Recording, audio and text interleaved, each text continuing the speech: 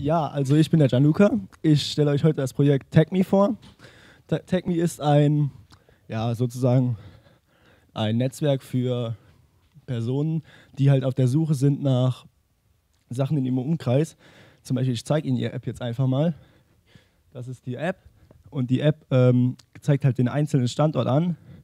Da sind wir jetzt per GPS festgestellt. Und ähm, im Umkreis zeigt im Moment nur WLAN, kostenlose WLAN-Hotspots an, zum Beispiel hier. Stadt Köln WLAN-Hotspot. Also der, der Betreiber Stadt Köln gibt dort einen kostenlosen WLAN-Hotspot und man kann diesen halt bewerten. Zum Beispiel mit vier Sternen. Oder ja, vier Sternen. Sendet man ab. So, ähm, diese Bewertung kann man, äh, also ist noch nicht implementiert worden. Das ist noch nicht ganz fertig, die App, weil, wie gesagt, welche mussten halt früher gehen. Und ähm, ja, keine Worte mehr. äh, nee, ähm, es wurde halt. Danke. Kannst du vielleicht kurz noch was sagen, was da ja. mit den Bewertungen passieren sollte? Ja, ja, also die Bewertungen sollten eigentlich hier an diesem, normal sind ja hier schon diese Sterne angegeben, diese sollten eigentlich schon ausgefüllt werden.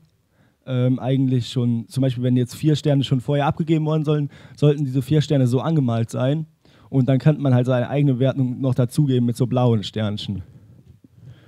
Ähm, diese App ist im Moment nur noch auf äh, WLAN-Hotspots, aber wir versuchen, die immer weiter zu erweitern mit Open Datas, die wir hier von der Stadt bekommen. Äh, kann man finden auf opendata-köln.de. Und diese kann man dort einbinden und auch ähm, dann werden diese Standorte auch auf dieser Karte angezeigt. Alles klar, vielen Dank.